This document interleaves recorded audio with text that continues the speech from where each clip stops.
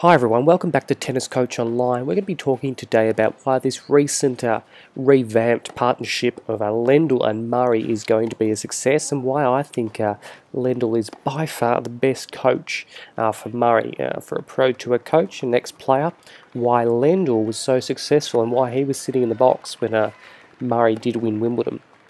Now, the first thing you have to understand is the type of player that Murray is, and this is why this works so well. So, you have to think of it like a, a, baby with a dummy. Everyone knows that when you take the dummy away from the baby, they'll start crying. If you give it back to them, sure, they're going to be all okay, they won't, they'll stop crying, and the problem will be solved, but only for a short period of time. When you take away the dummy from the baby and don't give it back, that's a bit of cutthroat therapy, but they know after the time the baby will realise, oh, it's not coming back, I have to figure this out myself. And that's the biggest link towards Murray's game is Lendl did not give him the dummy back. He didn't give in is the simple thing. Murray often looks to the box for this support because he has this uh, real uh, gist from the, from the support. I think it was created from you know Judy. His mum gives him a lot of energy, and I don't, don't really like that as he feeds off it um, in a negative way sometimes when they're not giving him the right support. He'll say, "I'll oh, get up wide, people in my box." Anything in the box really annoys him. You can see on the screen in these points as well. Mauresmo is actually walking around when they were doing this, and she was pretty good for Murray as well. She didn't give him extreme amounts of, uh, you know, uh, energy or say, oh, yeah, this is great, you did this point so well, clap, clap. She sort of, you know, she gave the real thumbs up or the clenched fist, but um, I don't think it was working that much. The, maybe the energy outside wasn't going that well. Murray didn't like it, but the thing with Lendl is he, he wore the glasses, he wore the hat, he didn't give anything off.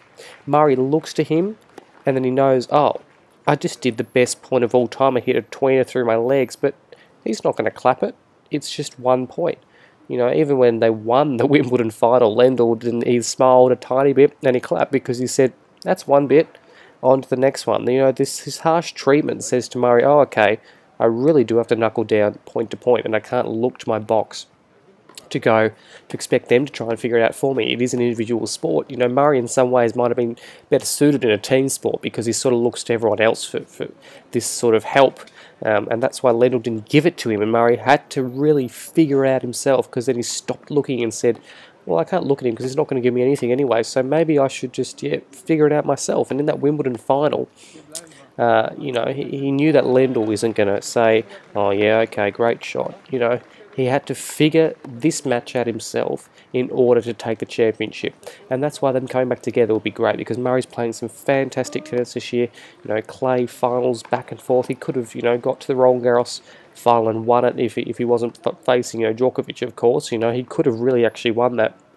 You know, he had some great wins over Djokovic the week before, a few weeks before. So he's playing incredible, and that just that rock solid uh, connection with Lendl might actually make a big difference. You know, he might actually knuckle down for, you know, months and months and months and hopefully years at a time, as opposed to, you know, where Murray has this up and down split, you know, changing between coaches and uh, hitting average to good form. You know, he wants to really reach the size of, you know, uh, the way Djokovic performs is where Djokovic always sort of is in every match and plays relentlessly well you know, year to year. You know, it's been years Djokovic is playing this well, um, where Murray has had that up and down rough curve, and that's why he's been a bit below of that big four pattern because he isn't as consistent as the others with the wins. You know, he is the one to first pick and say might lose, you know, early compared to them. When Murray plays well, he does actually get final to final because he does knuckle down and has this extreme ability for fitness. So hopefully understand uh, why this great partnership came back together because, you know, some people looked at Lendl and thought he's really robotic and, you know, very, um, you know, reserved and not giving Murray anything and they thought, well, what's going on here? Is he actually doing his job? Well, actually, that mentality, you know, might look very simple and, you know, you know, where Lendl doesn't actually focus, but he's in complete awareness of what he's doing, and Murray is as well. He knows that he needs someone to be rock solid and not, you know, give him back that dummy in order to go forward. And that's why this partnership will hopefully maybe even give him a slam to go forwards, and he might actually stop Djokovic in his tracks for one of the titles, but we'll have to see. If they work together, they can be very scary good, this partnership. So hopefully enjoy that video. Please leave a comment of what you think about this partnership with Lendl. I think it's fantastic.